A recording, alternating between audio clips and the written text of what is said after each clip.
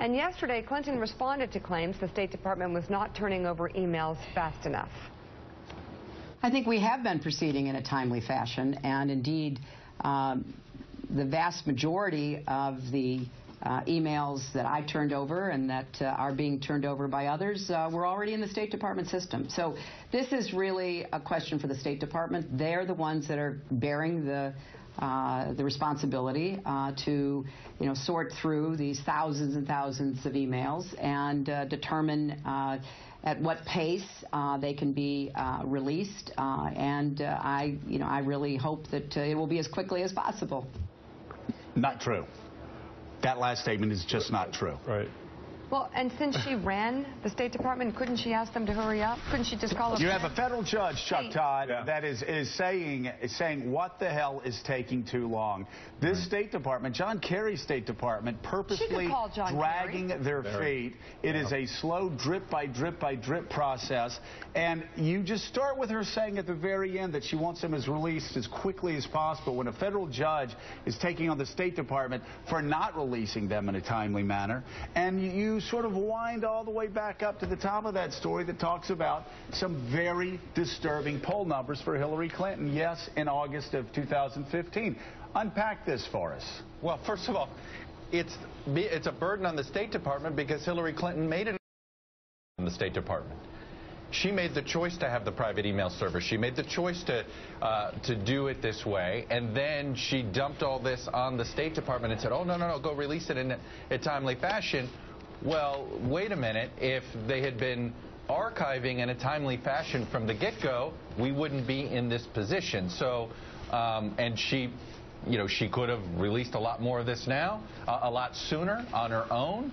Um, Chuck, again, can, you help us, help, help us out here? Maybe you have some, some, some better intel than we do. But the White House, obviously, Mm -hmm. Very disturbed by how Hillary Clinton handled her email. You talk to top people well, in the White House. They made it clear, yeah. They, they are angry that she didn't mm -hmm. follow the regulations. They said we passed regulations in 2009 to make sure this didn't happen, and she deliberately ignored our regulations. She deliberately ignored direct, direct uh, orders from us, and they're very angry. And yet, their State Department's dragging their feet. I, am I'm trying to figure out what is the White House doing? Are they covering for Hillary Clinton, even though they're angry with Hillary Clinton? We can't really sort it out. I, look, I, I can't either. I, maybe let's give them the benefit of the doubt. Maybe they're maybe they are overwhelmed with having to deal with a backlog of information that has been dumped on them. But it, at the end of the day, the reason it's taking a long time is because Hillary Clinton chose to do it out of the out of the norm, out of the way it was done. Uh, and she can claim Their she's doing the same protocol as Colin Powell, but that was uh, uh, basically a half generation ago uh, in how communications yeah. were dealt with. So it, it is a it is a classic deflection and sort of confusing the matter in the moment. But look, it has had an impact. Okay, it is fed a narrative. You know, look, I've been trying to figure out what motivated her to decide to use a private server.